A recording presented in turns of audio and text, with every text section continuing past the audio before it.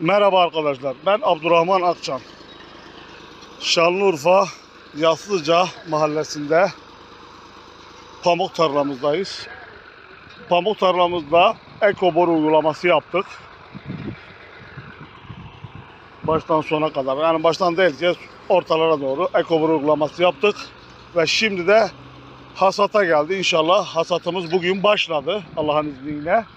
Toparlamaya başladık ve yüklememizi de yapıyoruz. Ha, pamukumuz verimi şu an için normal. Yani tahminlerimize göre normal. Yeni başladık çünkü. Daha yarın ancak biter. Pamuğumuzun rengi kalitesi çok güzel şu an için. İlk arabamızı yüklüyoruz. Götüreceğiz fabrikaya. Fabrikada bir de randımanını alacağız. Tahmini randımanımız 45-46 randımandan düşmeyecek. Yani en düşük randımanlı pamuk. Yani May 455 pamuğa ekmişiz. Ee, onun e, tüylü pamuk olduğu için randımanı biraz eksiktir ama Ekoboru sayesinde inşallah 46 randıman olacak yani.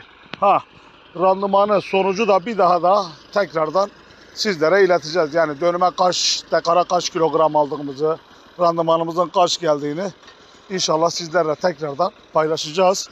Ha pamukumuz e, renk olarak şu olarak gerçekten çok güzel. İnşallah verimi de ortalama normal geliyor.